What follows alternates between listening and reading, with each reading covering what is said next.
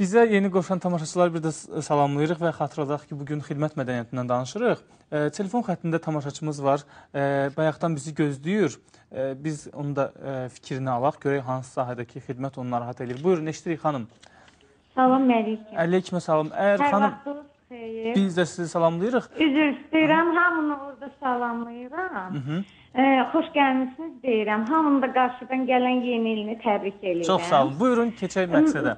Mən e, yəni Tahir bəylə çox razıyam. Onu salamlayıram. Yəni mən özüm də o sahədə işləmişəm vaxtı ilə. Yəni aksant sahəsində işləmişəm.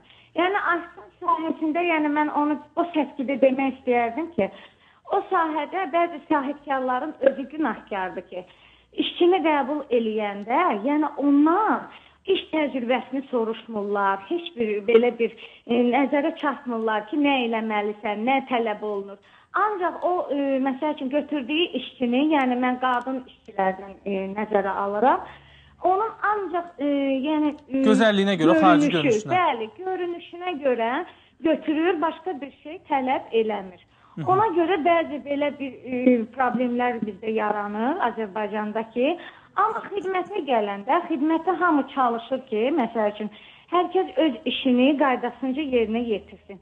Tahir bəylə çox razıyam. Təşəkkür edirik. Elə sahibkar var ki, özü oturur, deyir mənə qulluq elə. Müştəri, yəni e, qıraqda qalır. Təşəkkür edirik. mən çox sağ ol deyirəm hamınıza. Yəni ki, bu e, temaya, yəni şeylərdir. toxunduğunuz üçün sağ olun. Hə. E, Nigar xanım, e, ümumiyyətlə xanımın dediyində həqiqət var ki, əsasən də xanımları ofisiant kimi işlətdikləri zaman çox qısa ətək geyindirməklə və gözəl xanım seçməklə işlərinin bitdiyini hesab eləyirlər və e, hesab eləyirlər ki, bu xanımlara görə bura çox müştərilər gələcəklər. Yəni sizcə bir insan təbii ki, yaxşı qulluq eləyən, yaxşı xidmət göstərən insan e, daimi müştərilər qazana bilər. Amma bunun xidmətmi sadəcə yoxsa xarici görünüşmü, Yox, gözəlliyi? bilirsinizmi? Elə e, peşə sahələri var ki, orada e, görüntü də çox önəmlidir. Hı -hı, təbii. Tutalım, əgər bir insan kompüter arxasında işləyirsə, onun e, fiziki xüsusiyyətləri e, yəqin ki, o qədər də vacib deyil. Və yaxud o riyaziyyatçıdır və başqa peşə sahibidir. Amma tutalım bu aktrisadırsa və yaxud stüardessadırsa və yaxud e, bu saat o sual verildi, e, ofisiantdırsa, mən hesab edirəm ki, onun xarici görünüşü də müəyyən dərəcədə önəmlidir. Amma təkcə bu yox. Üst-üstə düşməlidir. Həm xarici görünüşü, həm də onun bacarığı və insanlarla ünsiyyət qabiliyyəti. Bunlar e, tam harmonik olmalıdır, bir-birini tam tamamlamalıdır. Qadın ofisiant barəsində bir iki kəlmə deyəcəm. Mən həmişə bizim restoratorlar istəyəndə e, onlara əleyhinə oluram ki, qadın ofisiantları e, xarici görünüşünə görə şərq restoranlarında Azərbaycanda işlətmək düzgün deyil. Birincisi iki səbəbdən. Birincisi qadın ofisiant işləməyən günü gündə 30 kilometr yol gedir.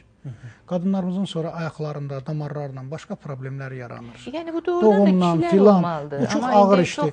İkincisi isə xarici görünüşünə qısa e, şey e, yubqada, nə bilim, ətəkdə işlədilən obyektlərdə mütləq indi onlar bağlanır olunur. Mütləq orada çünki ins- insanlar içirlər restoranda filan e, o qadınlara görə, ofisiantlara görə ya o bir ofisiant vurur, müştəri vurur, ya müştəri onu vurur, ya dava qopacaq, ya polis. O obyektlərdə mütləq mənfi hadisələr baş alıb gedir və o restoratora həddindən çox, restoran sahibinə həddindən çox ziyan verir. Ona görə hər iki tərəfdən qadın ofisiantları, qadın restoranları var, klublar var. Orada sözüm yoxdur. Amma digər tərəfdən də qadının bu qədər bir gündə yol getməsi düzgün deyil.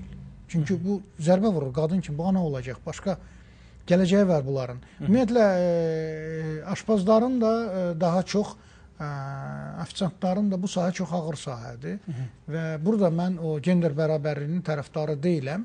Qoy e, qadını kişinin səviyyəsinə endirmək olmaz. Qoy yuxarıda dursunlar və Əslində Rəvan müəllim, ən yüksək səviyyəli restoranlarda heç vaxt qadın ofisiant olmur. Onu görməzsiniz. Tutalım Maksim restoranında və yaxud o səviyyəli e, Praqada restoranda. da yoxdur da baxın. Yoxdur. Amma adi belə restoranlarda qadın olur.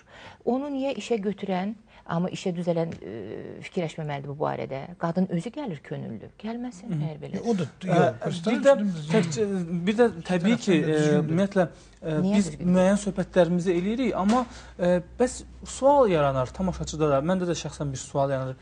Bəs niyə ə, inkişaf yoxdur. Bəs niyə bu insanlar yetişdirilmir? Bəs niyə niyələr ə, çoxalır? Kənan müəllim sizcə Amma inkişaf var.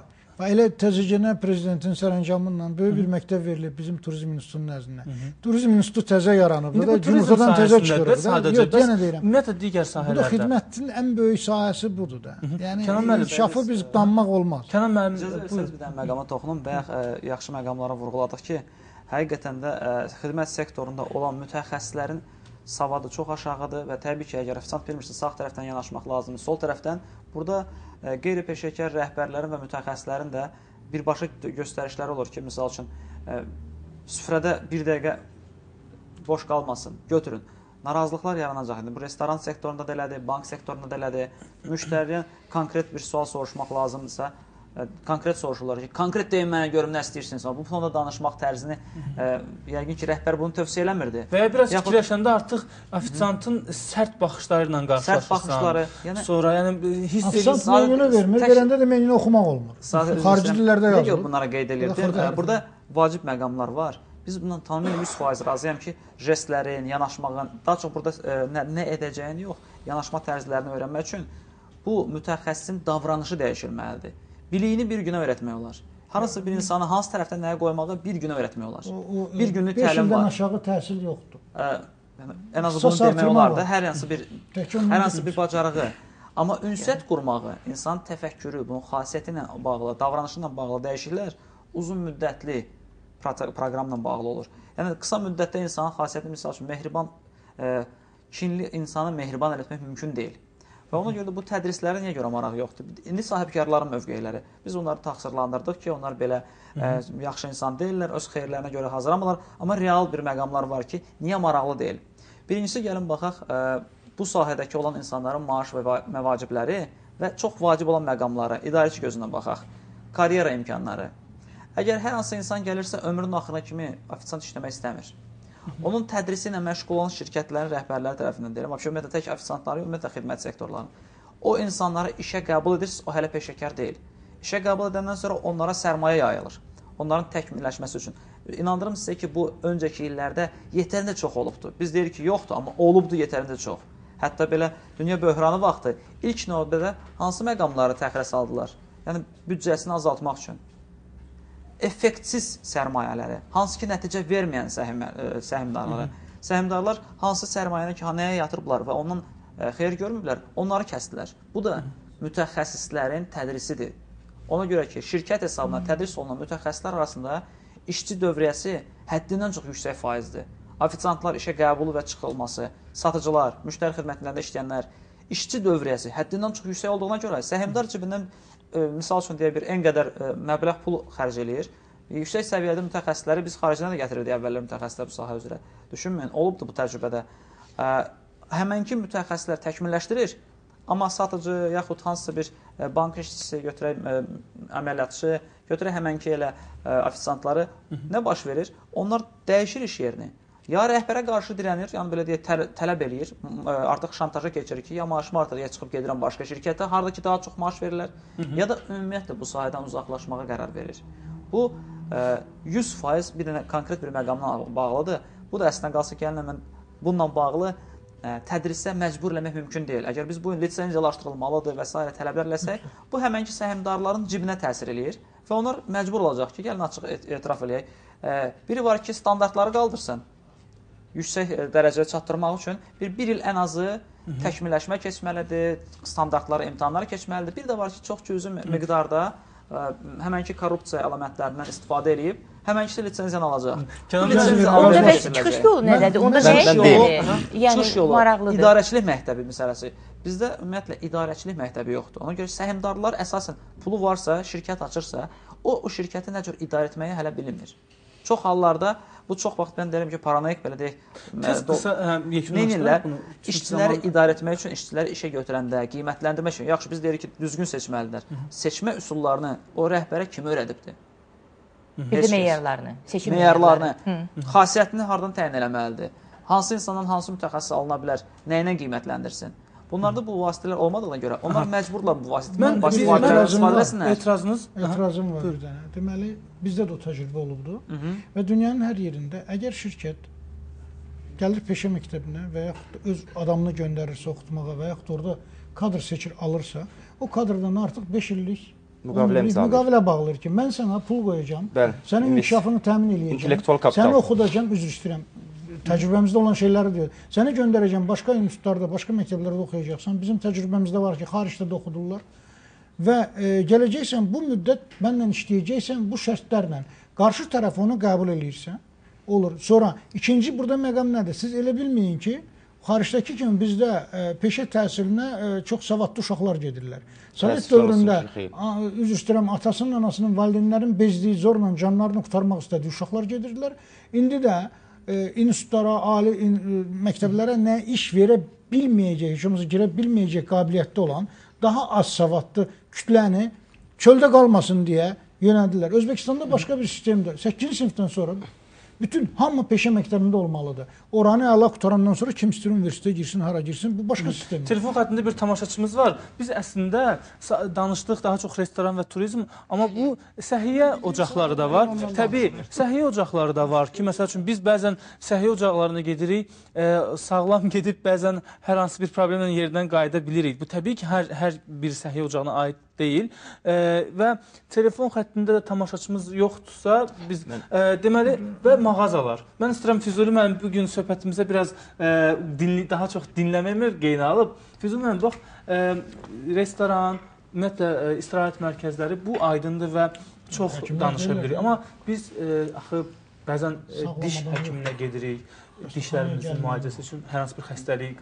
Səhiyyə xidmətlərindən E, və ya faydalanır. hər hansı bir e, gözəllik mərkəzinə və ya hər hansı bir mə- məqsədlə gedəndə oradan müəyyən xəstəliklər və pis davranışlarla qarşı və ya mağazaya giririk ki, bir paltar alaq və geyim alaq özümüzə.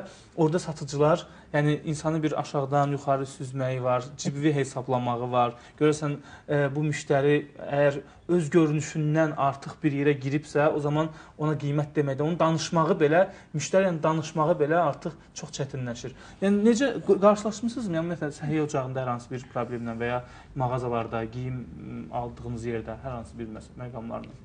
Əslində əzim hər şey hamısını özünüz dediniz. Elə Sizə söz qalmadı.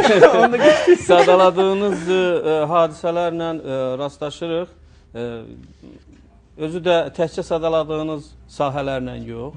Məsələn, səhiyyədə e, olur ki, olur ki, deyəndə elə həmişə dişimizi e, düzəltdirmək üçün gedirik. E, e, mənim gözüm qalır e, həkimin əlindəki görəsən o filan aləti yudumu təmizlədimi, spirtlədimi, dezinfeksiya elədimi və s. və ilə axır. Və inanın elə olur ki, onu eləmir. Onu eləməyəndə mən orada müalicəni keçən bir adam kimi özümü çox pis hiss eləyirəm. Və əksər hallarda iradımı bildirirəm ki, xahiş edirəm onu təmizləyəsiniz. Təmizləyəsiniz. Bəziləri yaxşı qəbul eləyirlər, normal qəbul eləyirlər, amma bəziləri görürsən iradlarını Ümumiyyətlə biz necə bilərik ki, o doğrudan da təmiz oldu? Yəni onu lazım Gözünün- Gözünün, məsələn mən diş, dişdən deyirəm də. Bundan başqa ə, səhiyyə ocaqlarında ə, bizim ə, xidmət sahəsinin hələ xeyli yaxşılaşdırılmasına böyük ehtiyac vardır. Həm müalicənin keyfiyyəti baxımından, həm də ümumiyyətlə insanla davranış baxımından. Həm də cavabdehlik. Bu yaxınlarda ə, nəvəm ki, temperaturu qalxmışdı. Gecə ə, dəvət elədik, ə, təcili yardımdan gəldilər. Mən başa düşmədim bu həkim nə deyir. Deyirik ki, deyirik ki, bu zəhərlənmədirmi? Deyir, ola da bilər, olmaya da bilər. Ə, Bu indi bunun diaqnozu nədir? Deyir ki, əşi, qida qalıb şeydə, mədədə qalıb, mədənin nə bilim mən nə olub, nə tər. İndi nə edək? Deyir ki, bunu xəstəxanaya götürməliyik. E, niyə götürürsünüz xəstəxanaya? Zəhərlənmə varsa burada deyiləm. Hə, elə də eləmək olar. Bəs indi xəstəxanaya mı hansı yaxşıdır? Əslində bizim aparıb xəstəxanaya verməyimiz bizim üçün daha yaxşıdır. Çünki biz məsuliyyətdən uzaqlaşmış oluruq. Aparıq deyirəm hansı xəstəxanaya Çox aparaq? gözəl xidmət göstərir. Siz nə deyirsiniz, onu eləyir də. Müştərinin dediyi Deyirəm hansı xəstəxanaya aparacaqsınız? Mən nə bilim hansı boşalsa aparıb ora tullayacağam. Yo, nə biabırçılıqdır bu belə? Be belə mən başa düşmədim e, bu nədir? E, bu- bunu- həkimlərdə günah yoxdur. Onlar qabaqçıdan deyirlər ki, sağlam adam yoxdur, həkimlə rastlaşmamış var. Düşdünsə deməli xəstəsən. Amma bu bunları bütün e, xidmət sahələrinə üstünə atmaq olmaz. Təbii, bütün- Amma bir siz demişkən bir şey də deyim. Məsələn bizim e, həyətimizin lap gətirib e, şeyin qabağına, podyezdin qabağına da e, zibil qabları qoyublar. Bələdiyyə belə hesab eləyir ki, bu zibil qabları orada olmalıdır. Deməli, podyezlə onun arası bir 10-15 metrədir. Park, kiçik park. Parkın içində stol var. İnsanlar yayda orada oturmalıdırlar. O da zibil qabları. Düz yolun yanındadır. İndi təsəvvür edin. Orada nə oturmaq olacaq, nə nəfəs almaq olacaq. Mən üzr istəyirəm. baxan da o, yox. o gözəl savadlı bələdiyyə kimdir? Siz onun seçkisində iştirak edirsiniizmi? Yox eləmə. Onda günah sizdədir. O da doğru. Başqaları seçsin. var. O da doğrudur, o da doğrudur. Buyurun. O da doğru. Bələdiyyə Alo, də eşidirik günah sizi. Təsir eləmək lazımdır. Fikir ki, bir ağıllı adam qoysunlar oraya. Telefon xəttində tamaşaçımız var. Alo. Bəli, çox bizi intizarda saxlamayın. Buyurun. Alo, salam. Əleyküm salam. Rəman müəllim, çox minnətdaram. Mövzunuz çox aktual mövzudur. Biz də minnətdarıq ki, baxırsınız. Buyurun, birbaşa e, sualınıza və ya fikrinizə keçək. Hörmətli, çox hörmətli qonaqlarınızı salamlayıram. Ə, Rəman müəllim, məni ümumiyyətlə xidmət xidmət mədəniyyəti ə, şəhərimizdə çox zəifdir. Bunu əvvəlcədən qeyd edirəm. O aydındır. Aha, bəs hansı sahəsi Amma narahat mənə edir? mənə ən çox ən çox narahat edən ə, çörək o daşınan ki maşınlar var. Bilirik ki, çörək bizim gündəlik ərzaqdır, hamının tələbatıdır. Yəni Aha. bu mümkünsüz bir şeydir. Hər gün biz buna rastlaşırıq. Aha. Maşın gələndə mən məsələn çalışıram ki, o maşın gələn anda mağazindən almayım çörəyi. Çünki o maş ə, çörəyi gətirən kəsin xalatını görəndə inanın ki, heç cür mən onu ala bilmirəm, geri qayıdıram. Yəni görməyəndə ücə görmürsən də. Bir də televiziyada göstərirlər o çörək sexlərini. Adam nə bilim belə çox Yəni çörəkdən adına atın azadlıqdır eləmək istəyirsən. Mən xahiş eləyirəm ki, bu ismarış da çatsın, o gətirən insanlar bir ağ xalat geysinlər. Sovet dövründə olan kimi. Hə, təşəkkür edirik Südabə xanım. Əslində çox maraqlı məqamdır. Bəzən e, mənim də gözümün qabağında olub çörək e, daşıyarkən yerə düşür və təzədən o çörəkləri qoyurlar. qoyurlar və yəni e, çörək mundarlıq götürmür, çörək çiş götürmür deyə deyə el, el içində yəni belə bir insanlar yəni Məncə bizim sanitariya qulluğumuz var, dövlət var, orqanlarımız var. Televiziyalar sağ olsunlar, hərdən çəkib göstərirlər, cəmaata ayrılırlar, gedib yerində bunlara dövlət nəzarəti var və güclənməlidir. Yenə deyirəm, o standartlar olmalıdır. O çörəyin qapısı necə açılmalıdır? Çörək hansı temperaturda standart var? Maşının içinə qoyula bilər. İsti qoyulursa ondan su axır sonra. O Tahir müəllim, siz onu deyirsiniz. Bu yaxında Bu mən sizdən eşitmişəm ki, çörəyə formalin qatırlar. bilirəm, çox şeylər vururlar. Çox İnsanlar şeylər deyir ki, formalini ölüyə çəkərlər, amma çörəyə yox. Belə şey eşitmişdiniz? Dəhşət. xəbərlərdə bir şey eşitdik son zamanlar şey amma müəllim, sonradan- isti ya soyuq, bilirsiniz, isti ya soyuq. Səhər-səhər işə gedəndə bir çörək gətirilən bir mağaza var, onun yanına keçin. Bir köhnə Moskviçdir, gözünə döndüyüm. Köhnə Moskviçin arxa ə, oturacağının Hamısı söküb neyniyib bilmirəm. Üstünə palas sərib. Deməli yerdən tutmuş yuxarıya qədər, yuxarıya qədər hamısı çörəklərdir. Mən üzr istəyirəm. Bizim İstəyir onu soyuq dövlət çox gözəl istehlakçıların hüququnun müdafiə departamenti var. Dövlət tərəfindən hələ ictimai təşkilatları demirəm, Eyüp müəllim qışqırır, bağırır, postayla danışır, mübarizə aparır. Böyük bir departament var, dövlətimiz var. O biri tərəfdən Səhiyyə Nazirliyinin tərkibində çox gözəl qurumlar var, böyük qurumlar ki, bunların üstündə nəzarət olmalıdır. Bəs Mən ola- bir dəfə- ola, bəs necə mən- belədir Üzr istəyirəm, bir məsələ görə dövlət departamentində e, müraciət elədim ki, bu düz eləmirlər bunu, düz göstərmirlər. Oradakı ekspertlər ona baxıb araşdırma əvəzinə mənə məktub yazdılar ki, siz qanunla bunu əsaslarla bizə göndərin. Yəni mən onun əvəzinə də işləməliyəm. İndi bizə məsləhət görürsüz ora müraciət edin. yox, müraciət etmək yox. Onlar Sadəcə olaraq- orada olan məmur da bizim qardaşımız, dost özgə adam deyir ki, hamısı özümüzük də. Xaricdən, kosmosdan gəlməyiblər onlar.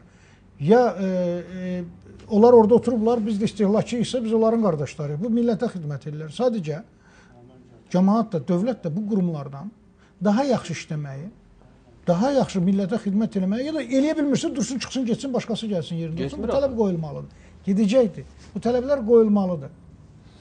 Ona Mən- görə mən onun tərəfdarıyam ki, hər bir şeydə bilinsin ki, əgər bu belədirsə, doğrudan siz deyirsiniz çörək oradadır, bir başqası deyir 10 yerdə çörək belə gətirilirsə, deməli Səhiyyə Nazirinin o sahədə orada işləyən hansısa işçisi yaxud da dövlət departamentinin bir qolunda işləyən iki orada işdən çıxarılmalıdır.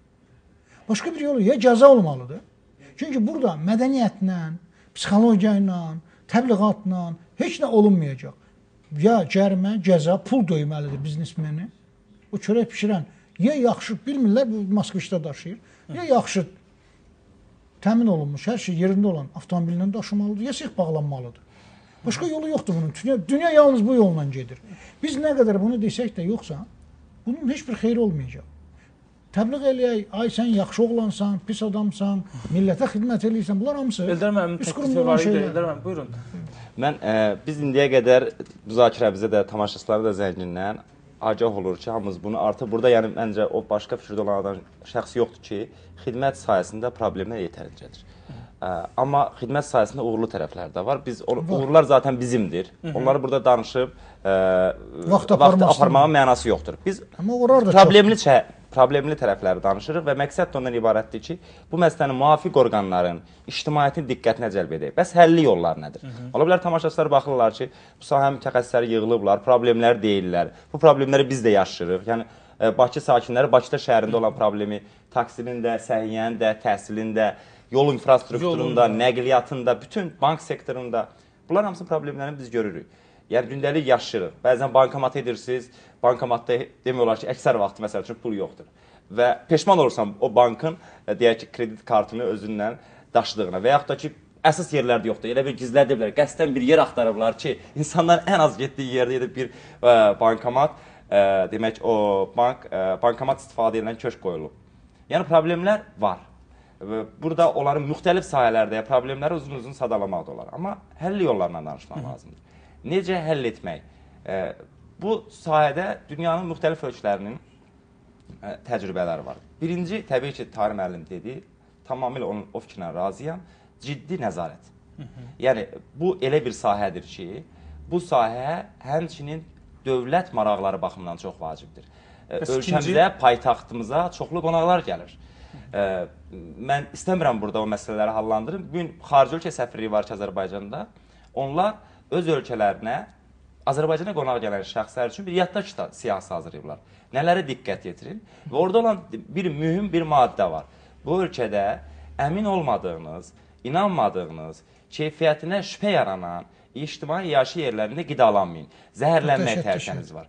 Yəni bu bu gün turizmin inkişafından danışırıq. Mən turizm sahəsini təmsil edən bir adam kimi, kadr hazırlayan bir e, strukturun nümayəndəsi kimi mən açıq deyim bu bizi çox narahat edir ki, biz bir tərəfdən ölkəmizi bu qədər təbliğ edirik, ölkəmizə bu qədər qonaqları cəlb eləməyə çalışırıq. Dünyada təşkil olunan bütün tu- turizm sərgilərini edirik. Bu tərəfdən kimsə hardasa hansısa restoranda pul qazanacaq deyə öz şəxsi deyək ki, korporativ marağına görə ümumi Azərbaycanın xidmət sənayesini və ya ba- Azərbaycan xalqının qonaqpərvərliyini şübhə altına qalsın. Ona görə də düşünürəm ki, bu sayədə birinci məsələ çox ciddi cəzalandırılmalıdır. Və lazımdırsa o restoran 1 illik bəlkə fəaliyyəti dayandırılmalıdır. Və bu bu məsələnin bu məsələdə çox təəssüf olunur ki, məsəl üçün biz ic- ictimai yaşadan danışırıq. Mən xatırlayıram son 10 ildir biz şadlıq evlərindən səsdən danışırıq. Biz son 10 ildir ifratçılıqdan danışırıq. Amma bu sahədə əgər görürsə ki, Hamı şikayət əgər edir, amma görürsə hamı ki, da toyunda onu eləyir. və görürsə ki, mən artıq burada ikinci məsələ keçmək istəyirəm. Amma digər bir məsələ var ki, əgər görürsə ki, bu problem var və bu problem ictimai qınaqla həll olunmur, məncə burada döv müvafiq dövlət orqanları artıq müdaxilə eləməlidir. Müdaxilə eləməlidir və ciddi cəza mexanizmləri bilirsiniz, Bu birinci bir tərəf. neçə olub cəhdlər ki, bizim dostlarımızdan, tanışlardan, onlar gediblər e, şadlıq saraylarına, deyiblər ki, mən sənin təqdim elədiyin bu 50 yeməyi istəmirəm. Bəli. Mən 5 yeməyi istəyirəm. Bəli. Amma Çox təəssüf ki, onlar gəlirlər imtina edirlər onu. Onlar da deyiblər ki, yox.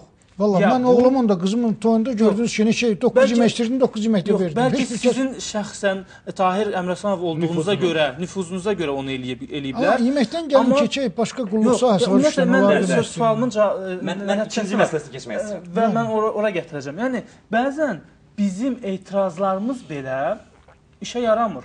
Mən istəyirəm, mən müştəriyəm və mən müştəri kimi ora təsir edə bilmirəm. Onda istehlakçıların hüquqlarını Bəli, müdafiə bəli. departamentinə müraciət bir fakt deyim, bir ikinci məsələyə keçmək istəyirəm. Bu məncə daha aktualdır və daha effektiv üsuludur. Bu ictimai nəzarətdir. Yəni burada şikayətlərdən danışdım, müvafiq dövlət orqanlarına. Mən şikayətləri bir kənara qoyuram. Dövlət orqanlara müraciət eləməyək. Bakıda restoranlar var. Biz bu günə qədər mən şəxsən rastlamadım ki, məsələn internetdə, sosial şəbəkələrdə bir kampaniya başlansın. Bir vətəndaş gedib bir restoranın xidmətindən faydalanıb, o xidmət onu qane etməyib Çox və o düz kampaniya başlayır kampaniya başlayır, arayışın qoyur, bu zəhərlənməsi haqqında faktı qoyur və s. və bütün insanları, yəni e, bununla nə demək istəyirəm? Sosial məsuliyyətli yanaşır. Yəni biz hər birimiz, hər bir ailə, hər bir cəmiyyət, hər bir cəmiyyət üzvü öz fəaliyyətində məsuliyyətlə davranmalıdır. Və təbii ki, bir tərəfdən dövlət buna nəzarət edirsə, digər tərəfdən mü- müxtəlif ictimai təchizatlar burada mühüm rol oynamalıdır. Azərbaycanda nə qədər qeyri-hökumət təşkilatları var, nə qədər ali məktəbləri var, nə qədər icma qrupları var, sosial şəbəkələr var. Bu şəbəkələr individual qaydada və ya bu xidməti təşkil edən şirkətlərə, müvafiq orqanlara ciddi ictimai nəzarət həyat etməlidir. Artıq bu Sovet dövrü deyil, nə də Çar Rusiyası dövrü deyil. Petisiya eləməyə ehtiyac yoxdur, ərizə yazmağa ehtiyac yoxdur. Bunun ən gözəl üsulu müxtəlif sosial şəbəkələr vasitəsilə bu cür məsələləri, o cür onların necə deyirlər, anti reklamını çox ciddi şəkildə təşkil etmək lazımdır. Digər üsullar da var, amma görürəm ki, Zam zamanla sizə yenə qayıdacağam. Digər üsulları unutmayın. Telefon xəttində tamaşaçımız var. Alo, eşidirik. Amma Alo. zəhmət bir xahişimiz var ki, e, birbaşa e, sualınıza keçəsiz və iradınızı deyəsiz ki, zamanını yaxşı idarə eləyək. Buyurun. Eşidirəm sizi, buyurun. Bəli, mənəm. Alo. Buyurun, eşidirik, buyurun. Axşamınız xeyir olsun. Buyurun. Mən hamınızı salamlayıram. Hamınızı qabaqdan gələn yeni il münasibəti təbrik edirəm. Ancaq sualım sizə budur.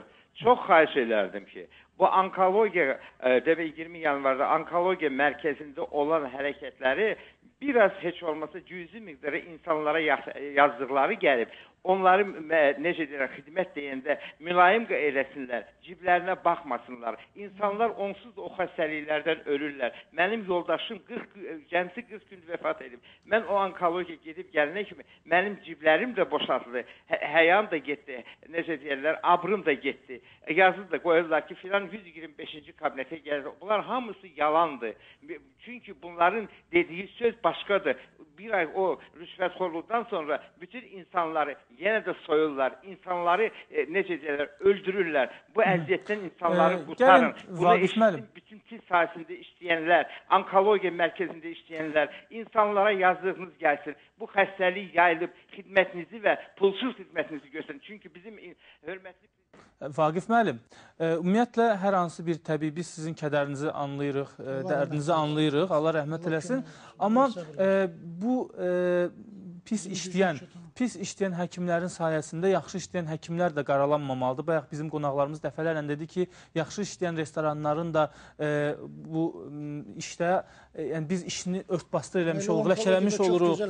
Bəli, çox gözəl həkimlər də var, çox insanlar gözəl insanlar da var. Gedib pisinə rast gəlibdi. ümumiləşdirməyək. Təbii ki, bir hadisə baş veribsə, o hadisənin günahkarı kimdirsə, təbii ki, sizin e, o cəzalanmalıdır. Amma ümumiləşdirəndə biraz e, zərbə olur. Bütün gözəl işləyən insanlar da var ki, müəyyən insanlar, onların da işinə kölgə Tamam, salır. mən sizə bir öz işimizdən elə bu müzakirənin ikinci qısa zəhmət qısa, qısa eləyəcəm, qısa eləyəcəm. e, Konkret nümunə məsələsində dedim. Yəni onkologiyanın adı çeyildi. E, yəni Azərbaycan çoxlu səhiyyə var, müəssisələri var. Hansısa birində bir problem varsa, bununla bağlı nə etmək olar? Bizim Mədəniyyət və Turizm Naz- Nazirliyi sayəsində bir nümunə var. Azərbaycanda 504 otelə lisenziya verilib. Amma Azərbaycanda 150-yə yaxın otellər var ki, Mədəniyyət və Turizm Nazirliyinin qara siyahısındadır. Və istənilən vətəndaş xahiş edirəm, bir e, otel xidmətindən faydalananda biraz əziyyət çəksin. İnternetdən və ya rayonda turizm şöbəsinə müraciət edirsən, qara siyahını bilsin. Yəni bu gün Mədəniyyət və Turizm Naziri sayəsində bir nümunə deyirəm. Mən işlədiyim sahə Qara siyahı internetdə Qara siyahı var, internetdə də var. Siz qısa bir e, axtarış etsəz, qara siyahıda olan otellər avtomatik siyahısı çıxır. Niyə? Bu qara siyahı nədir? Çox Ona görə ki, şikayət var. Ona görə ki, standart yoxdur o otellərdə. Ona görə ki, onlar lisenziya almayıblar. Mən arzu edərdim ki, bütün dövlət orqanları, bütün müvafiq sahə mə müəssisələri, Səhiyyə Nazirliyi sistemində də çoxlu səhiyyə müəssisələri var. Və bu o o səhiyyə sahəsində də problemli olan səhiyyə müəssisələri haqqında çoxlu şikayət gələn səhiyyə müəssisələri bir belə demək mümkünsə bir siyahısı tutulsun, ictimai qınağa çevrilsin. Mən, Mən- bir, Amma Bir müəllim, müəssisəsində tutalım. sonra Ola bilər ki, biri yaxşı işləsin, biri pis işləsin. O halda O- orada o- artıq menecment problemi var. O səhiyyə müəssisəsi rəhbərliyi bu ilə bağlı öz götürməlidir. Yəni xanım, əgər e, mən bir sual, bax e, Eldar müəllim çox yaxşı məqamı danışdı və hətta mən istəyirəm proqramın sonlarına doğru hamımız bu məqama toxunaq. Yaxşı, hər hər birimiz bu problemlərlə rastlaşırıq. İndi ad saymayaq, artıq bunu bir kənara qoyaq. E, səhiyyədir, elm, təhsildir, mədəniyyət hər hansı bir sahədə. Bəs bizim ictimai nəzarətimiz, ictimai qınaq niyə biz özümüz susuruq? Yəni bizə nə verilirsə və onda Razılaşırıq. Razılaşırıq. Razılaşırıq. Bax, e, Tarım müəllim sizə söz verəcəm. Nigar xanımdan başlayaq. Allah qoysa. Nigar xanım, niyə razılaşırıq? Niyə bu e, psixologiya yoxdur bizə etiraz eləmək, öz sözümü demək və öz istədiyimə nail olmaq? Bi- Mən deyim sizə də, bilirsiniz bu hallar çoxdur. Hər halla razılaşmayanda, əgər siz fərd olaraq başlayırsınız mübarizəyə, onda siz uduza bilərsiniz. Axır adam yorulur ondan. Çünki bu bir deyil, iki deyil, dəfələrlə təkrarlananda doğrudan da hər insan bezir bundan. Bu mən e, hesab edirəm ki, daha yüksək səviyyələrdə həll olunmalıdır ki, fərdlər bu işə qoşulmasın. Və yaxud belə mənfi halların sayı o qədər az olsun ki, fərd bu işə qoşulanda onun öhdəsindən gələ bilsin. E, həkim hansısa konkret bir həkimdən narazılıq bildirildi, e, hansısa bir restorandan narazılıq bildirildi və yaxud hansısa bir təşkilatdan narazılıq bildirildi. Bunların sayı olduqca çoxdur axı. İndi biz hərəmiz ayrı-ayrılıqda mübarizəyə başlasaq mən hesab etmirəm ki, biz kompleks onu olmalıdır. kompleks şəkildə, kompleks şəkildə. Dövlət orqanları da eləməlidir, vətəndaşlar. Amma necə o əməkdaşlığı necə biz yaradaq? O əməkdaşlığı necə? Bu hansı əsas bir deyil. İş assosiasiyaları, məsələn, otel, restoranlar assosiasiyası olmalıdır. Ola bilər. Var da assosiasiyası- kulinariya assosiasiyası var. Kulinariya assosiasiyası o işi Yox, təkcə məsələnin müəyyən istiqamətə Tək ondan demirəm, hə. mən başqa Daha şey- geniş, daha Mən məsələn bir vətəndaş kimi və mütəxəssis kimi çıxdım, tənqid elədim bir verilişi. İndi məhkəməyə verirlər ki, məni siz bizim şərəf ləyaqətimizə toxundunuz. Gördünüz. İndi Mən də onu deyirəm. Üzr istəyirəm. Mən dedim ki, Rusiyadan gələn kalbasaların əksəriyyətinin tərkibində peyindən hazırlanmış zülal vurulur. Başqa bir ictimai təşkilat mənə zəng elədi və məni hədələdilər ki, oradan bizimkilər e, kalbasa gətirirlər, satırlar əhaliyə. Niyə bunu sən mane olursan, ziyan vurursan, filan eləyirsən? Hə, deyirəm, axı bu axı mənim anam da alır, bacım da alır. Mən necə deməyim bunu? Məni hədələməklə qorxutmaq olmaz, amma başqasını qorxudurlar. Sonra yollarını deyim. Məsələn, mən bir 4 ildir neftçilərdə yaşayıram, 4-5 ildir. O neftçilərdən həmişə bu tərəfə gələndə o yol bax belə-belə qarmoşqadır. Dünya avtomobil firmaları maşını sınamaq üçün elə yolu düzəldə bilmirlər. Bizimkilər o texnologiyanı onlara satsınlar, onun pulunla bizim yolu düzəltsinlər. Sonra ikinci, məsələn bizdə heç vaxt e, e, bizim bu qaz, işıq, nə bilim nə bu icra hakimiyyətlərinin xəbəri yoxdur ki, qışda qar yağacaq, soyuq olacaq, qazın, işığın e, istifadəsi artacaq və hardasa kəsilə bilər. Qabaqçıdan bunu müəyyənləşdirə bilər. Birdən-birə qəflətən qışda qar yağır. Harda görsən qışda qar yağsın? Yayda dəhşət isti olur, su istifadəsi artır. Görükür ki, belə şey olar. Gəlin bunlara deyək, bunlara başa salaq ki, qışda doğrudan da qar yağacaq, soyuq olacaq.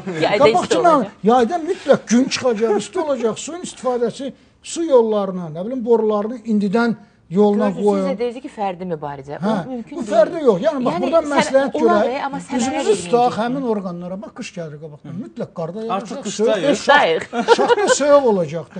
Qaz, işıq istifadəsi artacaq. Xahiş edirik, nəzərə alın. Qabaqdan yayda mütləq Azərbaycanda gün çıxacaq. Ya bu qəflətən olmasın. Yazıqlar bilmirlər axı. Ona görə onlara bir kömək eləyir. Mən elə üzr istəyirəm. E, deməli bayaq e, Necə mübarizə necə Eldar yaxşı olacaq. müəllimlə Eldar müəllim danışdılar, çox maraqlı danışdılar. Həm də ifadələrində olmalıdır, eləməlisiniz filan. Amma dediyiniz kimi e, Nigar xanım da yaxşı vurdu. İctimai qınaq yoxdur. Niyə yoxdur sualını verir. Niyə yoxdur ictimai qınaq? İctimai qınaq ona görə yoxdur ki, vətəndaşın müraciət elədiyi qurumların onun müraciətinə qanun, ədalət, haqq çərçivəsində baxacağına inamı yoxdur. Tamamilə. Bu reallıqdır. Olmalıdığını hamımız Hə, bilirik. bilirik. Kimə müraciət eləməyi də yaxşı bilirik. Biz də müraciət eləmişik Eldar müəllim. Və nə olub? Heç bir nəticəsi yoxdur. Və yaxud da ki, çox belə qəribə kommunal xidmətlər var. Kommunal xidmətlər. Zəng eləyirəm ki, misal üçün deyirəm də, axı mən filan şeyi pulunu keçirmişəm, niyə çek üçün falan. Deyir ki, gəl bura araşdıraq. Deməli, mən işə getməməliyəm. Hə, getməlisən. Bütün vaxtımı ya o, o orada keçirməliyəm, ya başqa yerdə. keçir- Yəni burada məsələnin kökü var.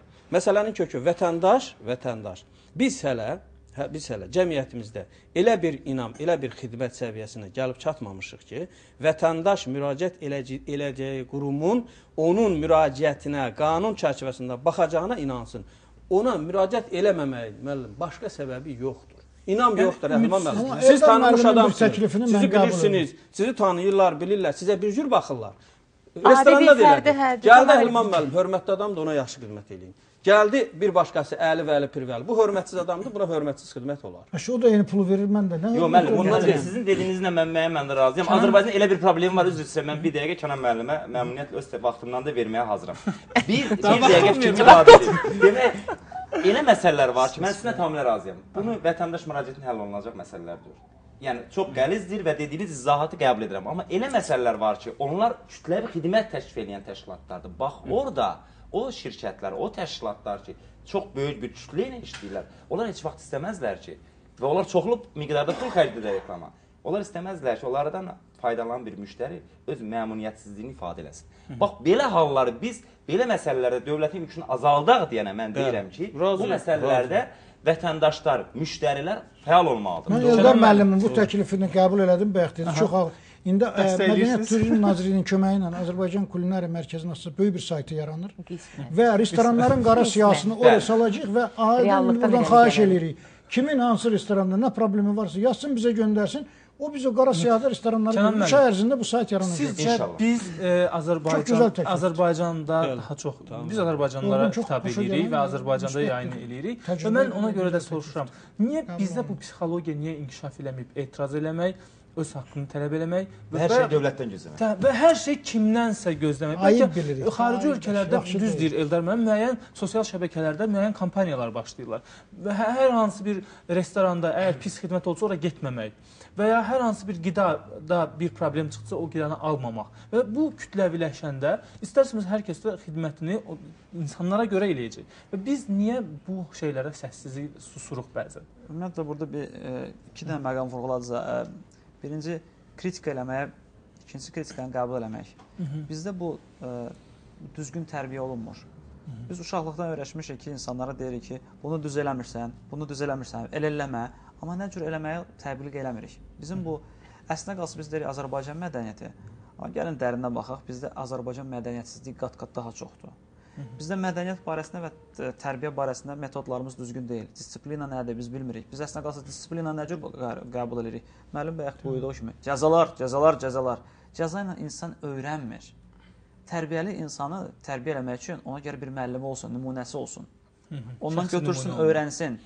Amma cəza verməklə insanı mütəxəssis eləmək mümkün deyil. Düz istəyirəm. Əlində silah olanın ə, cəza ver və əlindən silah almadan onu tərbiyələndirmək olmaz. Əvvəlcə cəza verib silah almaq. almalıdır. Metod metodlarda bu metodlarda mən psixmasın peşəkar sahəmdə deyən aversiv terapiya deyirlər. E, Sirkdə heyvanları məhz elə tədris edirlər. Və ya siz buyurduğunuz məqam var idisə, hə, amma insanla insan təfəkkürü varsa, ya siz dediniz ki, bunlar başa düşmürlər. Məmurlara başa salmaq Əlinə silah lazımdır. alırsa onun təfəkkürü varsa bəy, əlinə silah Kənan bəy, Üzr alırsa. istəyirəm. uşaqları elə tərbiyə olmalı razıyam. 40-50 yaşında, 30 yaşını keçmiş insanlar siz necə tərbiyələndirmək Çox üzr istəyirəm. Tərbiyə tədris. gəlir 1000% aşanda İcazə versəniz bir sual cavab verə verərdim. bilməz. Yəni ə, suallar ə, selinə bir balaca azaltmaq üçün. Məsələ ondan ibarətdir ki, əgər ə, sual bayaq sual verdiniz ki, onlara başa salmaq lazımdır. Əgər həqiqətən yetkin insan problem nədədir? Onlar başa düşmürlər. Onda o diaqnozdur. Ona debilizm deyirlər. Əgər insan əgər adi məsələləri başa düşmürsə, qışda soyuqdursa, o başqa bir məqamdır. Mən başqa tərəfi düşünürəm. Reallıqda mən düşünmürəm ki, həqiqətən də elə diaqnozla olan insanlar gəlib həqiqətən yüksək vəzifəyə gəlib çıxa bilərlər. Hətta məmur ola bilərlər. Ali təhsil ala bilərlər. Olsa çox istisna hallar ola bilər xanım. Amma ə, reallıqda nə- nədir? Reallıqda daha da böyük problem nədir? Planlaşdırma məsələsidir. Əgər insanlar planlaşdırmanı bilmirsə, idarəçilik təcrübəsi yoxdursa, Bunu e, istənilən eksperiment nəticə- nəticəsində eləyə bilərik. Bu saat mən hal-hazırda belə sadə bir eksperiment keçirik. Buradakı ins- insanların hansının iş təcrübəsi nə qədərdir? İstənilən miqdarda pul miqdarı, məsəl üçün hansısa bir səhmdar verir, deyir ki, bir iş quraq bu işi idarə edə bilsin. İdarə eləyə bilməyəcək. O şirkət bankrot olacaq, işçiləri narazı olacaq. Niyə qısa niyə? Ona görə ki, idarəçilik məktəbi yoxdur yoxdur, demək istəyir, bilmir, menecerlər. menecment bilmir nə olan şeydir. Bilmir ki, planlaşdırma necə qurulur. İnsanlara soruşun ki, bir günlük, bir həftəlik planınızı qurun, qura bilmirlər. Yəni Bu peşəkar tədris deyil. olmur. Mən- mən Peşəkar deyil. Aydındır da, biz elə bundan da var. Mütəxəssis hazırdır. Onların hazırlıq səviyyəsi. Asfalt çəkən var. Amma asfaltı neçə illik planlaşdırmaq lazımdır? Hansı deyil, məsəl üçün indi bu gün yol çəkilir. Hansı Mən bura gələndə elementar məqamları, elementar məqamlar deyirlər ki, biz bu yolu təmir edirik. Təmir eləyənlər mütəxəssislər var.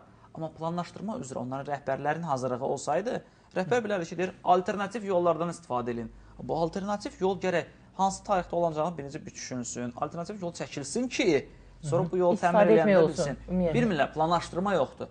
Mən sizə bir dənə də məqamı deyim müəllim. O sözlərin dostluğunun ə, əsaslığına xətrinə deyim.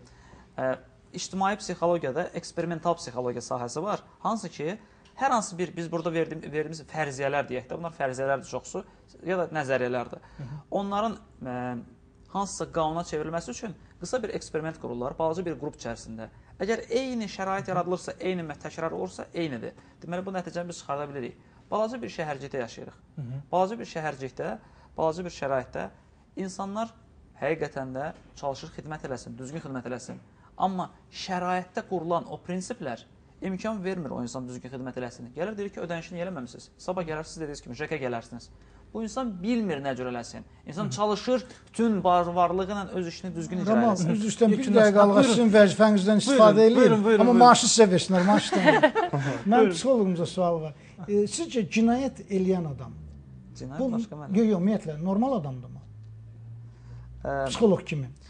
Əksəriyyətini götürürəm, massa. Bir, bir dəqiqə istisnalar- İnsanların əgər təbiətdən də sual verirsə, ümumiyyətlə ə, cəmiyyətdəki qadağalar insanların aqressivliyini tarazlaşdırmaq Aqressiv üçündür. danışmıram. Bilirsən? Azərbaycanda Hər bilirsiniz ki, birimiz- prezident də çıxış elədi. Qoy sualımı aydınlaşdırım. Prezident də çıxış elədi, qarşısını almağa çalışır. Çox böyük rüşvətxorluq var. Rüşvət alan bu boyda adam cinayət eləyir. Bu rüşvətxorlar normal adamdılar yoxsa qeyri-normal? Rüşvət Və alan bunları və rüşvət tərbiyə ilə, tərbiyə ilə yığışdırmaq mümkündürmü? Yox, Siz tamam tamamilə başqa tərəf vurğulayırsınız. Cinayətdir də rüşvət. Siz tamamilə başqa Və tərəf vurğulayırsınız. Cinayətin qarşısı alınmamaq Amma başqa ən böyük məsələdir. cinayət odur. Bütün ölkədə olan cinayətlərin 80%-ni yaradan Çox üzrəm. Ən böyük cinayət deyirsinizsə, onda ən böyük cinayət həqiqətən də peşəni bilməyən müəllimə tələbə verməkdir. Belədir. Bizdə də bu problem var. Psixologika fakültəsidir, götürün başqa menecment fakültəsi. Hansı e, tədris deyən mütəxəssis öz sahəsi üzrə hansı bir uğur bir əldə edir? Siz elə bildiyinizi Başqa bir deyirsiniz. Hansı olmasın, bir olsun əməkçi bir sahələrdə. bir İstənilən sahədə öz sahəsi üzrə hansı uğur qazanmış insan tədris deyir bu universitetlərdə göstərin. bu nə qədər Əgər bu müəllim bizim Kənan müəllim, tələbələrimiz dinləyək, Kənan müəllim, dinləyək. Bircə dənə sualıma cavab verin. Bu nə qədər normaldır ki, bu cəmiyyətdə yaşayan insan ki, bunun atası, anası, özü, ətrafı yığılır, aparır, pul verir ki, məni oxut. Mənə oxut. Bu normal insandır. Təbii. Bunu şeydə, ilə əlaqə hər şey təhsildədir və ona görə də dəqiqən bizim e, verilişimizin dəqiqəsi artıq yekunlaşır. Kifayət qədər mən, mənə elə gəlir ki, hər kəs sözünü dedi və heç kimə son söz vermə imkanımız olmayacaq və hər kəsin demək olar ki, e, öz mesajını ötürə bildi, amma bir məqam var ki, bax Tahir müəllim dediyi kimi biz bəzən harda səhv edirik, axtarırıq. Ən böyük elə ən sonda açıldı bu təhsil məsələsində. Bu biz istər valideynlərimiz, istər övladlarımız biz o düzgün təhsil verə bilsək və düzgün təhsil almağa məcbur eləsək və bizə e, düzgün təhsil verilməsini məcbur eləsək, məncə e, bütün məsələlərin kökü yavaş-yavaş özündən həll olunacaq. Razısınız mənim bu fikrimdən? Əslində olsa biz eyni fikri söylürdük. Tamamilə Təbii. Əz, əgər əgər hər birimiz də qonaqlarımız da bu fikirlə razıdırsa, o Təbii. zaman hörmətli tamaşaçılarımız, e, təhsil sadəcə məktəbə gedib kimya, riyaziyyat, fizika oxumaq deyil. O bitdikdən sonra özünü yetişdirmək. Yəni bəzən biz universiteti bitiririk və biz oxuduq ali təhsilliyi Ömür boyu və təhsil. bitir, yəni təhsil sadəcə bu deyil və təhsilin nə olduğunu dərk eləyək, özümüzü yetişdirək, inkişaf etdirək və özümüzdən sonra gələn insanlar da buna e, vadar eləyək, bəlkə də yolunu göstərək və mənə elə gəlir ki, sonra şikayət eləməyə haqqımız da olmayacaq. Gələn həftə görüşəcəyik. Sağ olun, hələlik.